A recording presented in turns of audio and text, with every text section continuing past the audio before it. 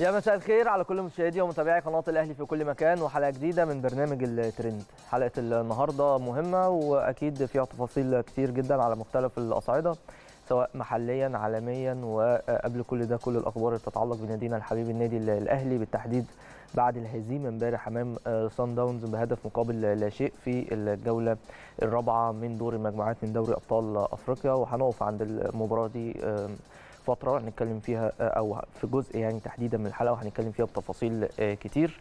ونتطرق لأسباب الهزيمة من وجهة نظر الجميع يعني. وده أمر مهم.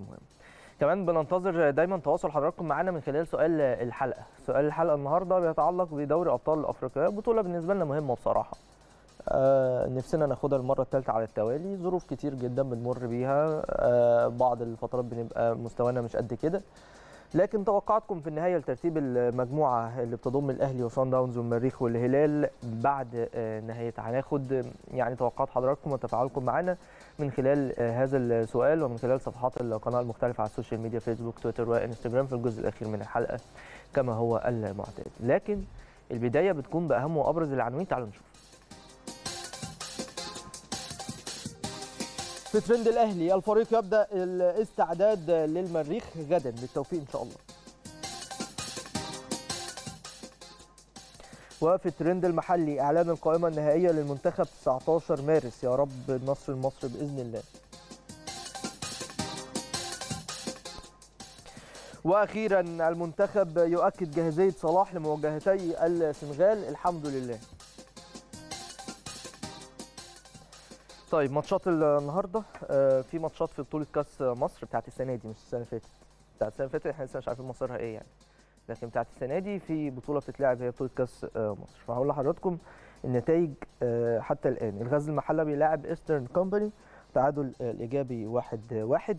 طلع الجيش بيقابل حلوان العام يعني متقدم أو خلصت المباراة بفوز طلع الجيش بنتيجة 3-1 الساعة 6 البنك الأهلي مع أسوان. دي مباريات كأس مصر. في الكونفدرالية في ماتشات ثانية ماتشات كلها مهمة في الحقيقة. كوتون سبور القطن الكاميروني مع مازيمبي انتهت النتيجة بالتعادل الإيجابي 2-2 زاناكو مع الأهلي أو أهلي طرابلس 3-2 لأهلي طرابلس.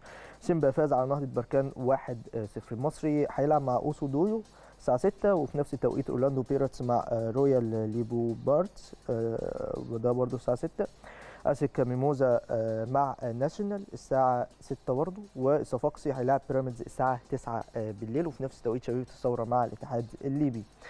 أما بخصوص الدوري الإنجليزي فالنهاردة في مباريات كتير في الجولة الحالية ومباريات معظمها ابتدى الساعة 4 أول مباراة تشيلسي مع نيوكاسل. الشوط الأول خلص بالتعادل السلبي بدون أهداف. الشوط الثاني بيبتدي في هذه اللحظات. نفس الحال بالنسبة لمباراة ويست مع أستون فيلا بنفس النتيجة. ليدز يونايتد الشوط الأول انهى متقدما على نوريتش سيتي بهدف مقابل لا شيء في مباراة الصراع على البقاء في بطولة الدوري الإنجليزي الممتاز. ومباراة مهمة جدا للفرقتين. نوريتش خلاص شبه بيودع لكن ليدز عنده آمال البقاء يعني. فبالتالي مهم قوي إن هو يكسب هذه المباراة في ظل تغير في الجهاز الفني. ساوثهامبتون متأخر على أرضه أمام واتفورد بنتيجة 2-1 وهي مباراة أيضا مهمة جدا لواتفورد إن رغب في البقاء في البريمير ليج. إيفرتون هيلعب مع ويلفرهامبتون أو بيلعب في هذه اللحظات يعني مع ويلفرهامبتون تعادل السلبي بدون أهداف وأرسنال مع ليستر سيتي المباراة دي هتكون الساعة 6:30 مساء. أما فيما يتعلق بمباريات الدوري الإسباني فرايو فاليكانو اتعادل مع إشبيلية 1-1 واحد واحد. ريال بيتيس هيلعب 5 وربع مع أتلتيك بلباو وريال سوسيداد الساعة 7:30 مع ديبورتيفو ألافيز وبرشلونة الساعة 10 بالليل مع أوساسونا وفي تحدي محلي بالنسبة لهم بعد يعني التعادل مع جالاتا سراي بدون أهداف في اليوروبا ليج دي أهم وأبرز المباريات في جميع أنحاء العالم ومختلف الدوريات النهارده في الحقيقة النهارده النادي الأهلي يعني نعى الدكتورة أنيسة حسونة بعد وفاتها النهارده. ربنا رب يرحمها ويغفر لها ويسكنها فسيح ويسكنه ويسكنها فسيح جناته الكابتن محمود الخطيب رئيس النادي والسادة أعضاء مجلس الإدارة ينعون ببالغ الحزن والأسى الدكتورة أنيسة حسونة عضو مجلس أمناء مؤسسة الأهلي للتنميه المجتمعية. والتي وفتها المنية اليوم. داعين المولى عز وجل أن يتغمد الفقيدة بواسع رحمته ويدخلها فسيح جناته إن لله وإنا إليه راجعون. كمان النهاردة خبر يعني صعب علينا كلنا برضو. آم، وفاة واحد من أبناء النادي ال- الأهلي هو الحارس زياد إيهاب حارس مرمى الفريق مواليد 2003 كابتن برضو محمود ال- الخطيب رئيس النادي والسادة أعضاء مجلس الإدارة والقطاعات الرياضية ينعم ببالغ الحزن والأسى. أحد أبناء النادي الشاب زياد إيهاب حارس مرمى فريق الأهلي لكرة القدم مواليد 2003 والذي وفاته المنية اليوم. ويتقدم مجلس الإدارة بخالص التعازي لأسرة الفقيد وزملائه داعين المولى عز وجل أن يتغمدوا بواسع رحمته ويدخلوا فسيح جناته. إنا لله وإنا إليه وإنا إليه راجعون. ربنا يا رب يرحمه ويغفر له ويسكنه فسيح جناته ويصبرنا ويصبر أهله يا رب. الموضوع بيبقى صعب شوية. ربنا يرحمه. إنا لله وإنا إليه راجعون. هروح لفاصل. بعد الفاصل عندنا تفاصيل كتير قوي هنتكلم آه، فيها وكواليس أكتر آه، بتتعلق بالفريق الأول لكرة القدم وبعض القضايا المهمة التي قد تخص الكرة المصرية بشكل عام. نروح ونرجع مرة ثانية يلا بينا.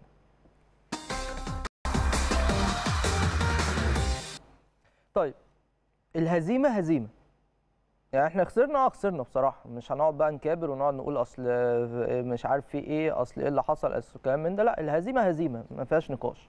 وأوحش حاجة في إن إحنا نخسر مباراة امبارح إن إحنا خسرنا من نفس الفريق رايح جاي. ودي صعبة علينا إحنا كأهلاوية بصراحة. ما ما حصلتش تقريبا من 20 سنة في تاريخ الأهلي في أفريقيا إنه يخسر رايح جاي من نفس الفريق في دور المجموعات. لكن في نفس الوقت لازم نبقى واقعيين. ما إحنا آه معترفين بالخسارة والأهلي بيعترف بالخسارة ايا كانت الخسارة إيه؟ ايا كانت الخسارة إيه؟ بس لازم يبقى في واقعية ويبقى في منطقية في تناول هذه ال- الهزيمة بالشكل المطلوب. إيه المنطقية والواقعية في الموضوع؟ اللعيبة يا جماعة تعبانين مجهدين مش مش يعني موضوع واضح لأي حد. أي حد هل أنا كده بقول حجة؟ ممكن واحد دلوقتي يتفرج يا عم بقى ما تتحججش بقى. يا أخي أنت عشان تتفرج عشان تتكلم من خلال قناة الأهلي فلازم تقول الكلمتين دول. والله ابدا. والله العظيم ابدا.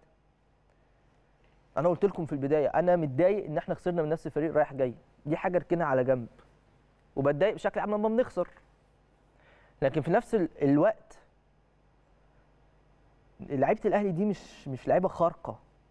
مش لعيبة خارقة. اللي هو إيه؟ يكسبوا لازم كل ماتش كل ماتش يلعبوه لازم يكسبوه مفيش كده في الكورة.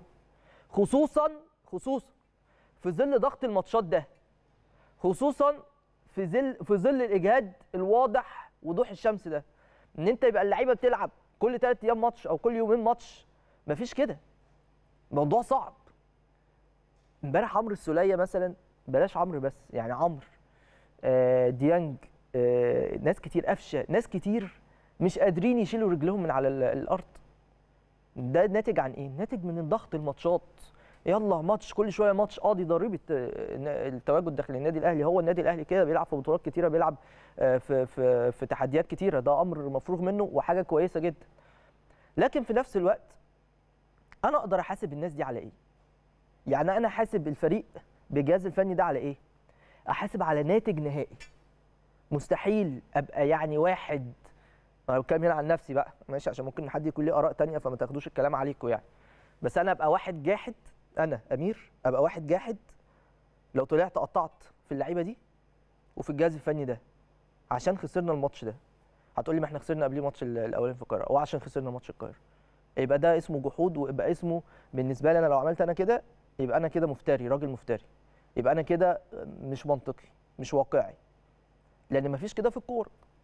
مفيش حد يكسب كل الماتشات. آه طبعا بنرغب وبنتمنى دايما الأهلي يكسب كل الماتشات. هو إحنا كده طماعين ونفسنا في كده. هتقول لي ظروف مش ظروف أنا ماليش دعوة إحنا عايزين نكسب. آه طبعا طبعا. بس برضه لازم ننزل على أرض الواقع. لازم نشوف اللعيبة دي لعبت كام ماتش في كام بطولة مع منتخبات مع أندية. نشوف الأمور بالنسبة لهم والظروف ماشية إزاي. فأنا لما أجي أحاسبهم أحاسبهم على الناتج النهائي اللي هو ممكن يكون إيه؟ لا قدر الله. إن إحنا نخرج من أفريقيا ساعتها لا نتحاسب.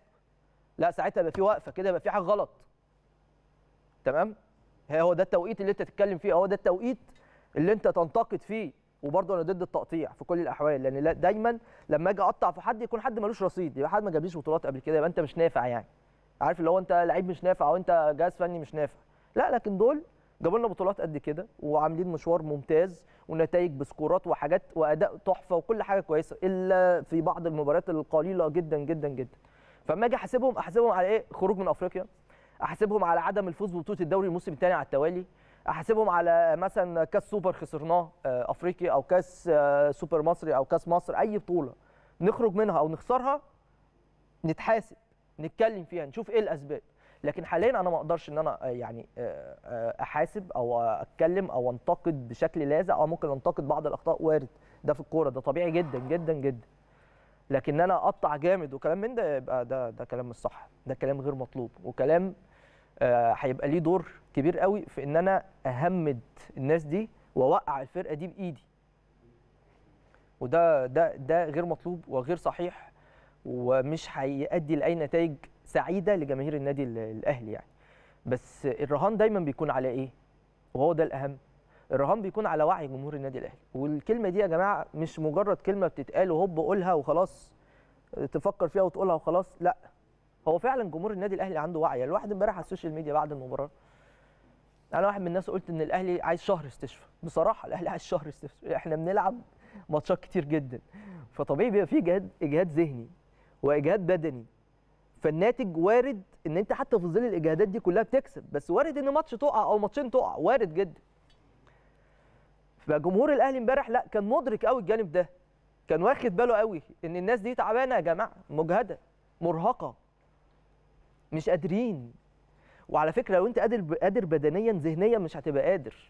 ولو قادر ذهنيا رجلك مش هتشيلك. فهي دي كرة ال- القدم.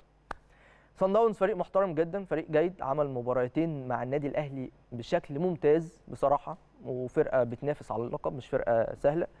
و... آه، ودايما أكيد هتكون منافس على البطولة ال- السنة دي يعني. ومش بعيد مش بعيد يعني. المدرب بتاعهم كويس وكل حاجة بس مش بعيد إن تلاقي أندية بتفكر زي الأهلي كده ويتعاقدوا مع مدرب صن داونز عشان فاز الأهلي على الأهلي مرتين. وارد إنه يحصل قريب وارد إنه يحصل قريب. ف... فبالتالي ده أمر من الأمور ال- المهمة. في كل الأحوال هارد لك لينا. إن شاء الله بإذن الله القادم أفضل والأهم في كل هذه الأمور في الماتش بتاع امبارح ده أو بعد إنتهاء الجولة دي ان مصيرك في أقدام لاعبيك. مصير الأهلي في أقدام لعيبته تكسب ماتشين المريخ والهلال بإذن الله واحد أحد المريخ يوم الجمعة.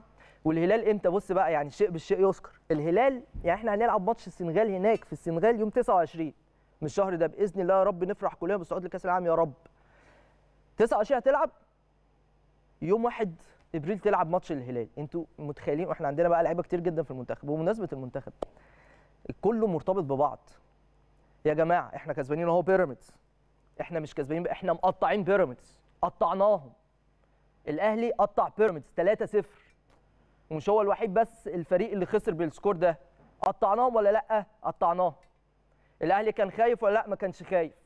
بس برضه حتى بعد ما قطعنا بيراميدز وبعد ما كسبنا ثلاث نقط مهمين وبعد الأداء والنتيجة الكبيرة دي إحنا كنا بنقول برضه يا جماعة من الأفضل من الأفضل لما يكون عندك فريق كده في الدوري زي الأهلي زي الزمالك الأندية الكبيرة دي زي بيراميدز يكون عندهم عدد كبير من اللعيبة في منتخب مصر فكر في مصلحة المنتخب فريح ال- ال- اللعيبة دي شوية لأن عندهم ارتباطات إفريقية.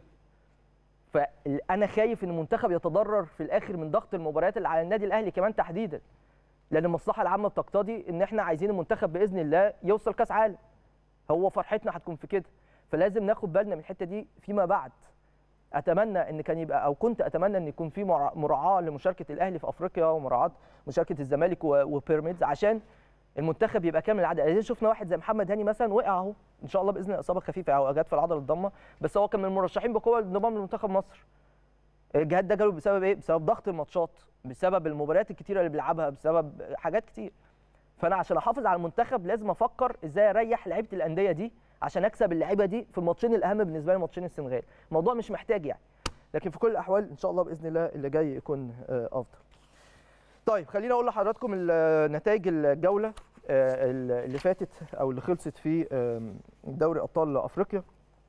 الهلال كسب المريخ 1-0 كلنا عارفين طبعا لأن المباراة آه، بتهمنا فبالتالي الهلال بقى عنده أربع نقاط مع الأهلي والمريخ. وصن داونز ضمن التاهل بعد فوز على الأهلي 1-0 وبقى ضمن كمان التاهل كأول مجموعة. آه، شباب بلوزداد خسر من جواني الجالاكسي 4-1 الوداد كسب الزمالك في القاهرة 1-0 فبالتالي الزمالك خرج من دوري أبطال أفريقيا بشكل آه، رسمي والوداد تأهل طبعا. وصن داونز قلنا النتيجة آه، حورية كوناكري آه، قدام الرجاء كسب 2-1 وفاق سطيف كسب أمازولو 2-0 والترجي التونسي آه، في القمة التونسية الأفريقية كسب النجم الساحلي 2-0 وبيترو أتلتيكو آه، كسب ساجرادا آه، 3-0 دي مباريات الجولة. آه، ترتيب المجموعات. المجموعة الأولى آه، صن داونز متصدر 10 آه، نقاط. آه، الأهلي في المركز الثاني أربع نقاط. آه، الهلال في المركز الثالث أربعة والمريخ في المركز الرابع أربعة. في أيضا المجموعة الثانية الرجاء متصدر برصيد تسع نقاط وفاق سطيف آه، في المركز الثاني برصيد ست نقاط ونفس الرصيد بالنسبة لأمازولو وحرية في المركز الأخير عشان يحيي آماله آه، بعد فوز امبارح الرجاء وعنده ثلاث نقاط لسه عنده آمال في التأهل. الترجي التونسي في المجموعة الثالثة متصدر برصيد 8 نقاط وهو نفس الرصيد لشباب آه، بلوزداد الجزائري. والنجم الساحلي في المركز الثالث آماله بتتضاءل بشكل ملحوظ عنده ثلاث نقاط وجوانينج جالاكسي آه، نقطة آه، وحيدة. أما المجموعة الأخيرة وهي مجموعة بيترو أتلتيكو المتصدر برصيد 10 نقاط في المركز الثاني الوداد برصيد 9 نقاط ودول تأهلوا بشكل رسمي خلاص وخرج من البطولة كل من آه، الزمالك وزاجرادا الانجولي طيب دي ترتيبات المجموعات أنا بقى في جزئية مهمة قوي عايز أتكلم فيها في الحقيقة وهو كيف يتناول الإعلام كيف يتناول الإعلام؟ المواقف المتشابهة. لما يكون في موقف بيخص الأهلي بتناوله إزاي؟ لما يكون في موقف بيخص نادي الزمالك بتناوله إزاي؟ ودي جزئية غاية في الأهمية. ليه بقى أنا بتكلم على الموضوع ده؟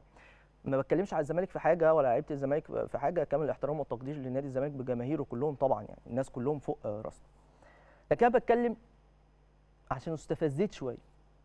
تعالوا نرجع ورا كده حبتين لما جه بعض اللاعبين من النادي الأهلي النجوم في فرقة النادي الأهلي قرروا إن هم يمشوا. قرروا إن هم يمشوا من الأهلي. عقدهم بيخلص لقوا فلوس كتيرة جات لهم فقال لك لا أنا هبيع النادي بجمهوره. حلو. وهروح للفلوس دي. ده قراري بقى أنا حر. فايه اللي اتقال ساعتها الناس كانت بتقول الإعلام كان بيتكلم في إيه؟ أو بعض الإعلام كان بيتكلم في إيه؟ كله طلع قال لك إيه؟ احتراف. فين المشكلة هنا. إيه الأزمة؟ أنتوا بتتكلموا في إيه؟ تيجي إحنا إحنا إحنا نيجي ندافع؟ أو نيجي مثلا مش بندافع نيجي نقول يا جماعة لأ برضو في حاجة اسمها انتماء. يا جماعة إيه اللي أنت بتقوله ده؟ لا لا لا أنت أنت قديم قوي. إحنا في عصر الاحتراف دلوقتي. لازم كل واحد يفكر في مصلحته. ولازم النادي يدفع فلوس كتير أو مش هيدفع فلوس كتير يبقى اللعيب حقه يشوف الفلوس الأكتر اللي جاية له ويروحها. مش ده اللي حصل مع الأهلي؟ لما مشي مثلا رمضان لما مشي مش عارف عبد الله قبل كده لما مشي أي حد ها؟ ده اللي حصل. طيب حلو. دلوقتي كلنا متابعين أو كلنا بنسمع وبنقرا يعني إن طارق حامد لاعب نادي الزمالك قرر إيه؟ وده بناء على تصريحات رسمية. قرر إيه الراجل؟ قال لك يا جماعة أنا جاي لي عرض جامد قوي من السعودية ب 3 مليون آه، يورو. وفلوس كتير قوي. فأنا بصراحة بفكر في العرض ده وعايز أمشي. فبالتالي كان في قرار ايا كان إيه هو هو بقى هيمشي أو كلام من ده من النادي النادي مش هيجدد له دي حاجة ما تخصناش خالص. لكن أنا اللي يخصني إزاي الإعلام اتكلم في الجزئية دي؟ اتفاجئت اتفاجئت. لما لقيت ناس تتكلم بتقول لك يا جماعة 3 مليون يورو يعني إيه 30 مليون مصري؟ والأهلي والزمالك مديك 25 مليون فرق إيه 5 مليون يعني لا يا طارق ما ينفعش اللي أنت بتعمله ده يا طارق لازم تقعد. لازم تبقى موجود في النادي. هم هم الناس اللي كانوا بيقولوا ساعتها إيه ساعة رمضان إيه؟ لا ده الإحتراف. فإيه الازدواجية دي؟ مفيش معايير محددة للكلام ليه. اشمعنى هنا الكلام كده واشمعنى هنا الكلام كده؟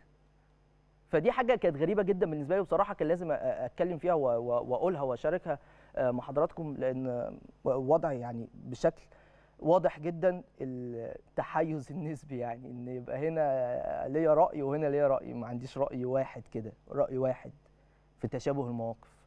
فحاجة غريبة يعني لكن عادي. الأهلي دايما في طريقه ما بيفرقش مع أي حد بيتكلم طالما بيتكلم لاغراض غير المصلحة آه، العامة. هنروح لفاصل. بعد الفاصل هنرجع نتكلم في بعض الأخبار اللي بتخص ال- الفريق وإزاي هيستعد لمباراه المريخ لأن ده أمر هيكون آه، مهم جدا. استنونا.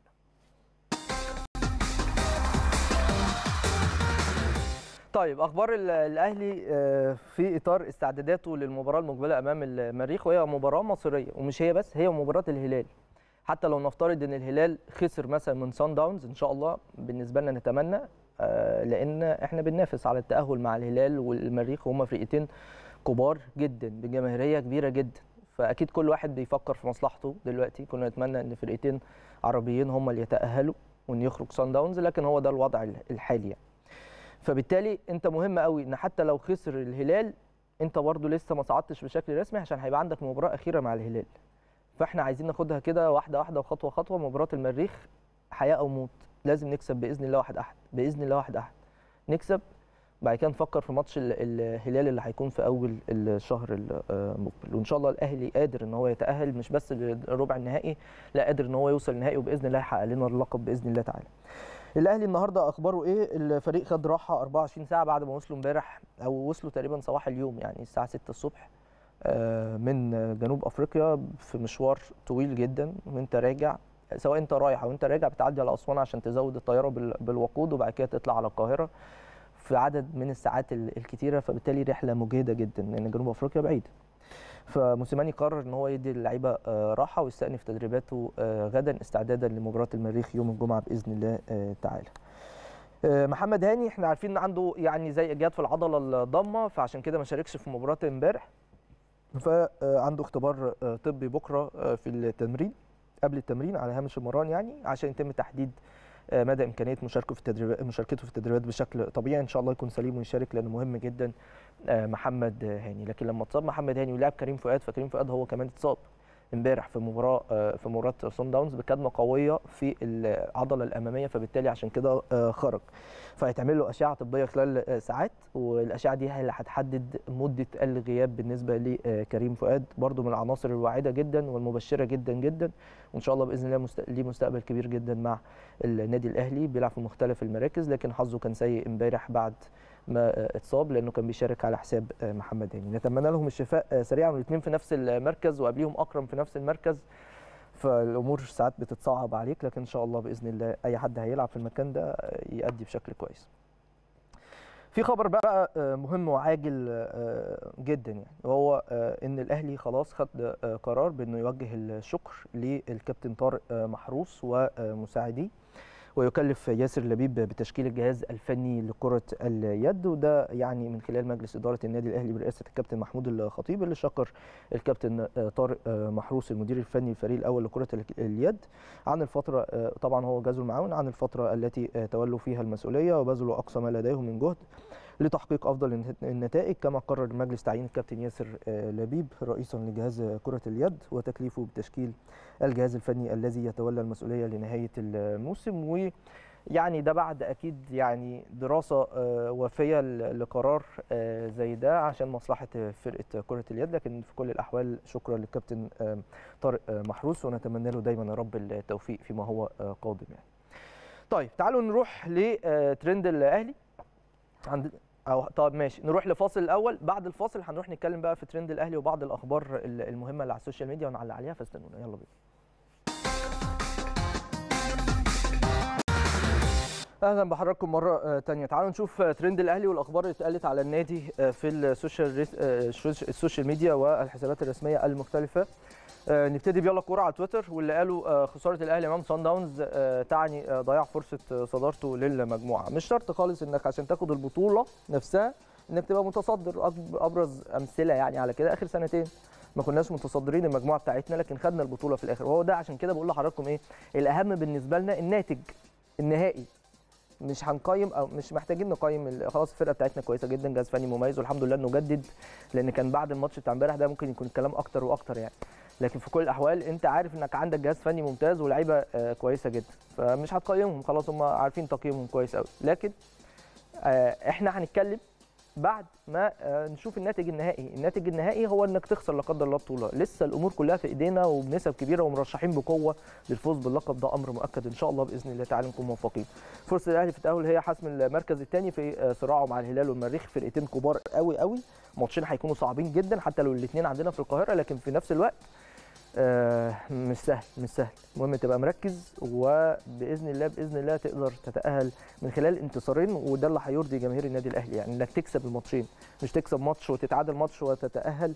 لا أنت عايز تكسب الماتشين عشان تبقى مطمن وعشان تدي يعني إيه رسائل قبل دور ربع النهائي. بإذن الله تكون رسائل قوية ايا كان أنت هتقابل مين بقى ساعتها. إن شاء الله الأهلي يكون موفق طيب المصري اليوم وحسابهم على تويتر. طلب وحيد من موسيماني المسؤول الأهلي قبل مباراتي المريخ والهلال. هو الراجل يعني اتكلم في المؤتمر الصحفي امبارح بعد الماتش وقال إن هو بيتمنى يعني هو استشهد بالمغرب وإن في جماهير كتير جدا بتحضر للأندية المغربية في الملعب بعد ما خلاص يعني الأمور بقت كويسة.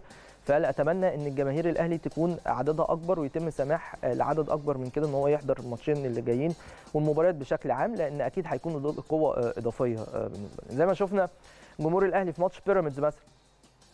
جمهور الأهلي في ماتش بيراميدز. كان حاجة جميلة جدا.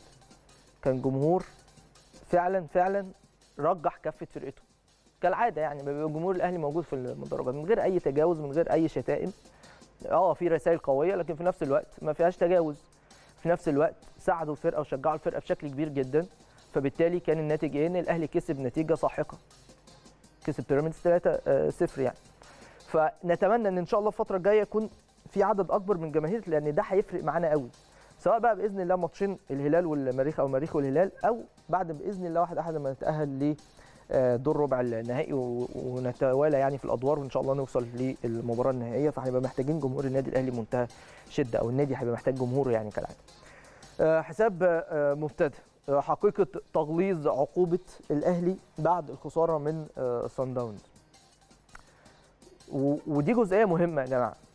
مش الأهلي مش عشان يخسر أي ماتش فبيبقى فيه عقوبات كبيرة وبيبقى فيه لأ أنت في كل الأحوال بيبقى عندك لائحة أنت بتمشي على أساس اللائحة دي. بتكسب بيبقى ليك مكافآت بتخسر بيبقى ليك عقوبات أو بيبقى يعني اللائحة زي زي ما هي بتقول البنودها إيه فبالتالي آه بعض الأحيان ممكن تضاعف العقوبة لو بقى هزيمة يعني مثلا زي مثلا هزيمة خمسة بتاعت بتاع سان داونز أيام لاسارتي مثلا ساعتها لا كان لازم تضاعف العقوبة وإيه؟ تضاعفها 10 مرات كمان. لكن هزيمة زي امبارح هي خرجتك من البطولة؟ لا. فرصك كبيرة في التأهل؟ آه طبعا كبيرة بإذن الله تعالى فهو هتمشي طبقا للائحة. فمفيش أي تغليظ للعقوبات خالص ولا أي كلام من هذا القبيل يعني. فده بمنتهى الوضوح الأمر ده. طيب تعالوا نروح لخبر آخر. وده من حساب كرة بلس على تويتر واللي قالوا كايزر تشيفز بيتكلموا عن مساعدة الأهلي إن إحنا قمنا بواجبنا والأمر ليس له علاقة بالوطنية لم نندم على مساعدتنا للأهلي في جنوب أفريقيا.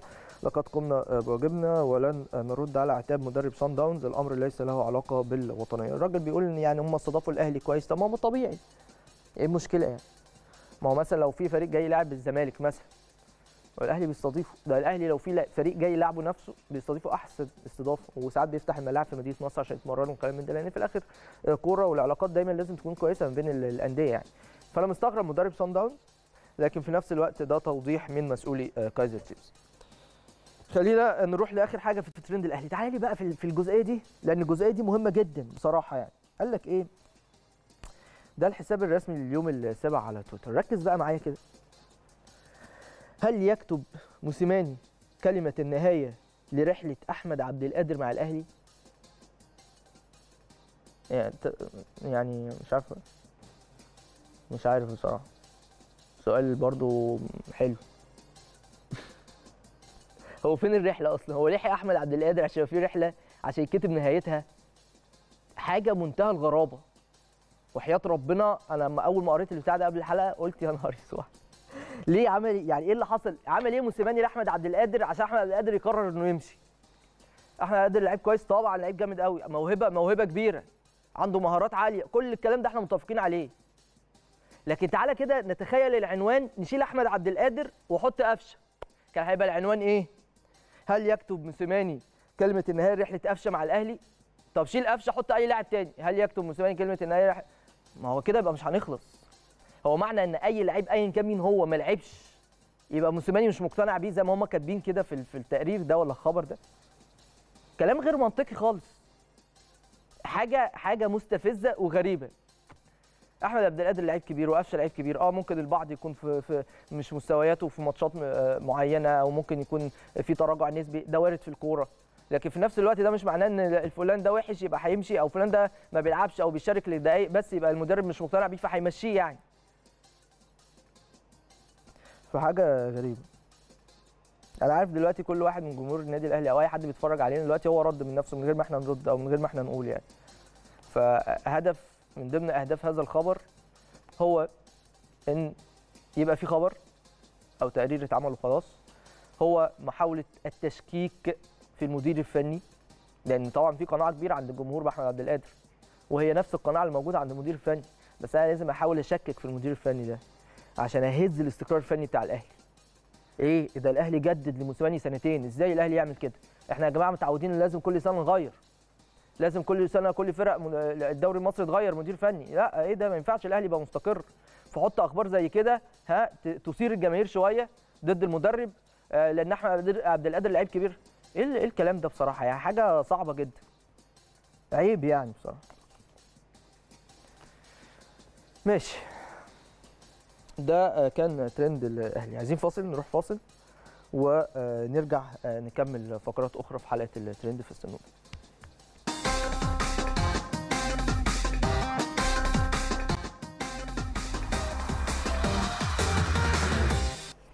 أهلا وسهلا بحضراتكم. خلينا آه، نروح للترند المحلي ونشوف أهم الأخبار اللي بتتعلق بمنتخبنا تحديدا. وزي ما حضراتكم شايفين كده حساب بوابة الأهرام على تويتر قالوا إعلان قائمة المنتخب نهاية آه، أو بعد آه، إعلان قائمة منتخب مصر للنهائية لمواجهة السنغال هتكون آه، يوم 19 مارس. إحنا عارفين يعني هي هتبقى بعد إيه ماتش الأهلي والمريخ يوم الجمعة وماتشات الأندية كلها في أفريقيا وكلام من ده فهيتم الإعلان عن القائمه بإذن الله تعالى. إن شاء الله تكون يعني قائمه موفقة في التأهل لكأس العالم من خلال ماتشين السنغال لأن هم ماتشين صعبين قوي قوي فريق السنغال فريق قوي. عنده لعيبة كلها بتلعب بره لعيبة كلها مش بس بتلعب بره من أحسن لعيبة في العالم. عندهم أفضل حارس في العالم وعندهم ساديو ماني وعندهم في نص الملعب إيه؟ بلاوي. يعني عندهم لعيبة تقيلة. ففي كل الأحوال إن شاء الله بإذن الله نقدر آه، إن إحنا نتخطى العقبتين دول أو المباريتين يعني. الوطن سبورت وبيتكلموا على إن آه، محمد صلاح وكان في تواصل مع آه، جهاز المنتخب تحديد للدكتور محمد أبو العلا للاطمئنان على محمد صلاح. محمد امبارح كان عنده ماتش مع برايتون. جاب هدف في الدقيقة 61 على ما أتذكر من ضربة جزاء بس قبل الهدف ده كان عنده بعض الألام في عضلة السمانة. جاب الهدف وقع في الأرض خرج. فالناس كلها قلقت بصراحة يعني كل المصريين قلقوا. يعني محمد صلاح عنصر أساسي والرئيسي. ومش بس كده ده هو أبرز لاعب في منتخب مصر. مش بس كده هو من أحسن اللعيبه في العالم. وإحنا جايين داخلين على إيه؟ على ماتشين السنغال. فالوضع بالنسبة لنا هيكون لا قدر الله في حالة غياب صلاح هيبقى صعب. لكن في الحقيقة يعني اطمنا بشكل كبير جدا بعد تواصل المنتخب مع صلاح. إصابة بسيطة مش خطيرة مش هتعطله عن الماتشين وهيكون جاهز بإذن الله آه، تعالى. مش عارف إمكانية لحقه ماتش أرسنال اللي جاي بالنسبة لليفربول ولا لأ. مش عارف الأمور هتمشي بالنسبة له إزاي. هيتم الإعلان أكيد من قبل آه، ليفربول آه، وموقعهم الرسمي.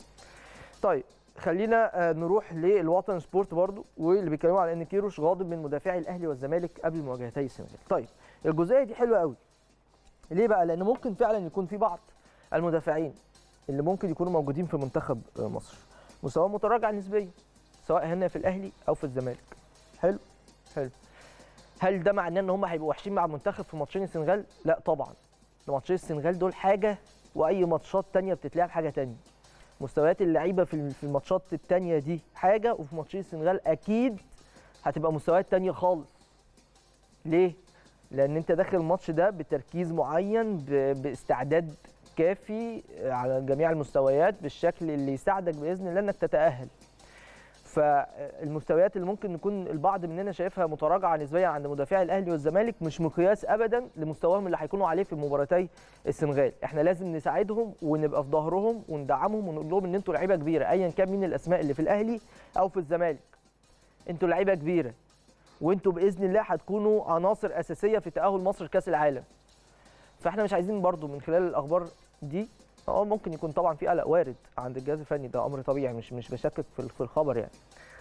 لكن مش عايزين من خلال الأخبار دي إن إحنا إيه آه نقلق الدنيا ونقلق نفسنا وإن إحنا نهبط من معنويات اللعيبة وإن الراجل كمان ندخل الشكوك بالنسبة له في المستويات بتاعتهم وكلام من ده. لأ الأمور طبيعية وا- وارد جدا إن أي حد مستوياته تبقى قليلة. يجي في ماتشين زي السنغال يبقى جامد قوي. في بعض اللعيبة مع المنتخب في كأس الأمم الأفريقية كانوا أفضل بكتير من الماتشات اللي لعبوها مع انديتهم بكتير. مدير فني مختلف على طريقة لعب ممكن تكون مختلفة على واجبات معينة بي- بي- بيتم تكليفهم بيها كلها حسابات آه، أخرى يعني. أتمنى لهم يا رب التوفيق وإن شاء الله بإذن الله إحنا واثقين فيهم كل الثقة القايمة اللي هيختارها آه، كيروش يعني. واثقين في الجهاز الفني بإذن الله إن شاء الله يفرحونا. ده فيما يتعلق بالترند المحلي خلينا نروح للجانب العالمي شوية. وبعض ال- الأخبار العالمية. نبتدي بالحساب ال- آه، الرسمي للبريمير ليج على آه، تويتر واللي آه، بيحتفي بوصول محمد صلاح للهدف العشرين هذا الموسم وبذلك وبذلك يظل هداف ال- الدوري. محمد صلاح عنده 20 هدف هو الهداف ويجي في المركز الثاني كل من كريستيانو رونالدو اللي جاب هاتريك فظيع امبارح في ماتش اللي اتلعب امبارح أمام توتنهام في مباراة كانت جميلة قوي وساديو ماني عنده نفس الرصيد 12 هدف ودياجو جوتا نفس الرصيد. في المركز الثالث كل من هاري كين وسون وتوني مهاجم برينتفورد والثلاثة عندهم 11 هدف بس فرق كبير في الأهداف ما بين آه، صلاح واللي بعده. بس أنا عايز أقول لصلاح خلي بالك من رونالدو. الراجل ده بيجيب أهداف بالجملة يعني ممكن كده يقعد ماتش اتنين ما يجيبش لكن لما بيجيب بيجيب هاتريك. فممكن فجأة هوب تلاقيه هو الهداف يعني. فإن شاء الله نتمنى طبعا صلاح هو اللي يفوز بيها تعالوا نروح لخبر آخر من حساب ESPN على تويتر. واللي بيتكلموا على تصريحات لستيفن آه، جيرارد أو بالتحديد لا مش تصريحات يعني هم بيقولوا إن ستيفن جيرارد هو بس الوحيد في تاريخ ليفربول آه، اللي ساهم في أهداف أكتر من محمد صلاح في تاريخ ليفربول كله. أكتر لاعب ساهم في أهداف مع ليفربول هو ستيفن جيرارد طبعا الأسطورة الكبيرة لليفربول والمدرب الحالي الحالي لاستون فيلا الخسرانين 1-0 من ويست هام في هذه اللحظات ومحمد صلاح هو اللي بعديه على طول. وارد محمد صلاح كمان إن استمر في هذا الأداء وإن استمر في مشواره مع ليفربول أكيد بإذن الله هيكسر كمان الرقم ده لأن إحنا متعودين من خلاله إن هو يكسر أرقام آه، قياسية آه، كتيرة.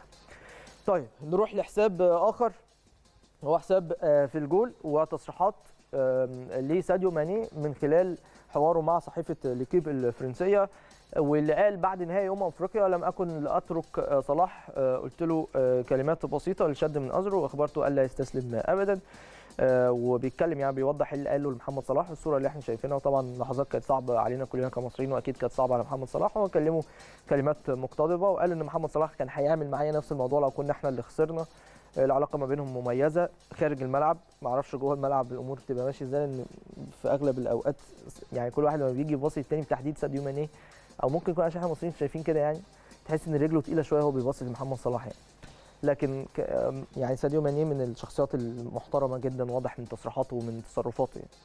يلا كرة حسابهم على تويتر وصحيفة ماركا الإسبانية. بتقول رحيل محمد صلاح عن ليفربول كارثة آه، على آه، الريدز. طبعا لأن إحنا سامعين تقارير الفترة اللي فاتت اليومين اللي فاتوا تحديدا إن محمد صلاح تم عرض عليه عرض آه، أو عقد جديد فهو رفضه لأن مش عاجبه الشروط اللي في العقد طبقا اللي هو كان حاطه هو وكيله. فبالتالي النسب ابتدت تروح ناحية إيه؟ إن صلاح هيمشي. فهل ده هيأثر على ليفربول؟ مؤكد.